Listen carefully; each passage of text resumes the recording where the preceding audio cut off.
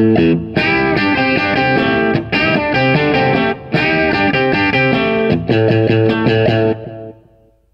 it's Joss from uh, gak.co.uk. What I have with me here is the uh, Fender Custom Shop 51 Nocaster. So yeah, this is the Nocaster.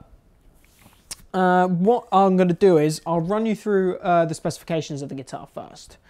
So what we have is we've got a, uh, a two-piece ash body weighs nothing. It's seriously, seriously light guitar. So that's always um, a nice touch. What I find with Telecasters personally is just how light and lovely they are. But this one in um, specific, because it's got a two-piece ash body, it's nice and light. Um, we've got a one-piece maple neck um, with uh, jumbo frets on it. So once again, you can get yourself you can get yourself in those frets. Vibrato playability wise is uh, just slips off the fingers a little bit easier for me. Um, what we have is just the just the Fender logo, uh, the Fender logo, sorry, um, which you know, as the name suggests, there's no sort of model designated sign or name on there, so that's hence the Nocaster.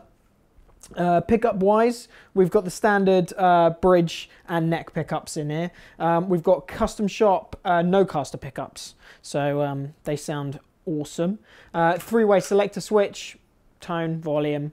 So the standard sort of um, Telecaster layout.